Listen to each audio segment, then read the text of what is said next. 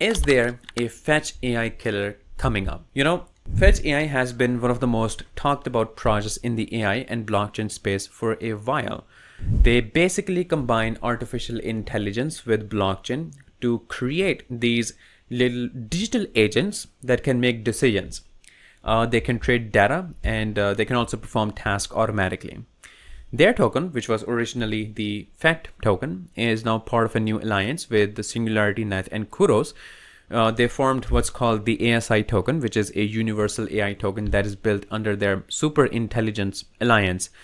But now there's a new project that's that is catching a lot of attention. That is called IntelOpera, and its token IOAI. And honestly, when you look at what they're building, it is fair to ask, could this really be a Fetch AI killer?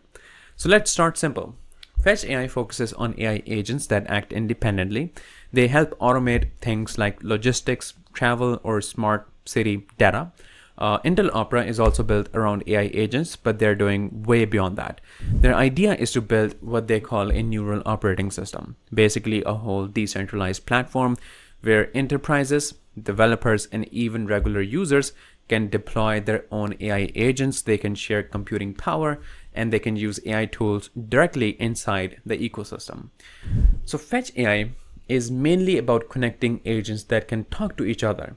Uh, IntelOpera is about giving companies a full infrastructure to build, to host, to scale their own AI systems. All of it is powered by the IOAI token. Now what makes IOAI really interesting is its token design. Every time someone makes a purchase on the platform, 1% of that transaction gets burned. That means those tokens are permanently removed from circulation, which creates scarcity over time. And it doesn't stop there. Every time IOAI is used inside the system, for example, when deploying agents using GPU power or accessing enterprise grade AI uh, features, that same burn mechanic applies again. So basically, the more the platform grows, the more the token supply shrinks. It's a deflationary design that is built directly into how the ecosystem works.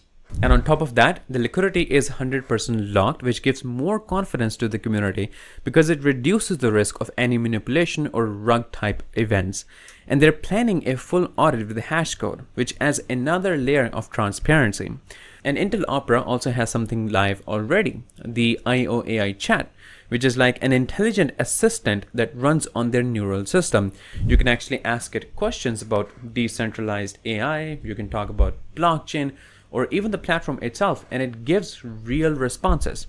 It is currently in beta, but it is already showing that they're not just talking, they're building. Now, here's where things get really interesting. Fetch AI has been building for years and they have a strong developer community. But IntelOpera already claims over 127,000 active AI agents across 45 different industries, 3.2 million network nodes worldwide, and 89 petaflops of decentralized GPU compute power. They've already raised $17 million in seed funding from top tier venture capital firms like Andreessen Horowitz, Sequoia Capital, and Paradigm and they're working with 47 Fortune 500 clients across 85 countries. That's a lot of traction for a project that is still in its early stages. And when you look at their roadmap, you can tell that they are building fast. The core protocol and smart contracts are already deployed. Their mainnet beta and agent marketplace are rolling out.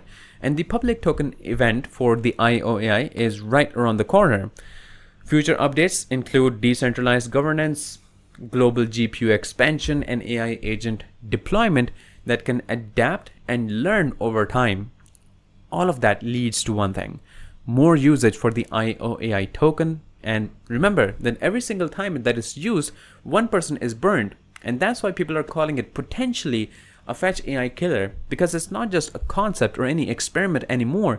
It's an entire infrastructure with built-in deflationary economics Another thing that is worth mentioning is the community side. IntelOpera emphasizes that it's community-driven ecosystem. As more users join and use the token, its overall value structure strengthens naturally.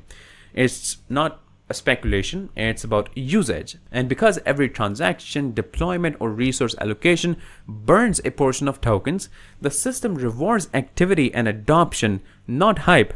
Plus, the founders are fully doxxed on the main site. You can check their backgrounds, their education, and past experiences, something that gives IntelOpera an extra layer of credibility in a space where anonymity can be a red flag.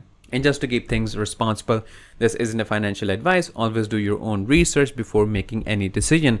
But from a purely technological and economic perspective, IntelOpera looks like one of the few projects trying to bridge enterprise AI with blockchain in a meaningful way, not just selling buzzwords, but actually giving businesses tools, compute access, and AI agent deployment capabilities under one ecosystem, all of which is powered by a token that has real utility and built-in deflation. So, is IntelOpera really the fetch AI killer? It might be too early to say, but when you look at the numbers, the token design, and the scale that they're building for, it's hard to ignore what they're doing. IOAI might just be one of those strongest tokens to watch in the decentralized AI space right now. So do keep it in your radar and let me know what you guys think in the comment section. And thank you for watching and I'll see you guys in the next one shortly. So stay tuned.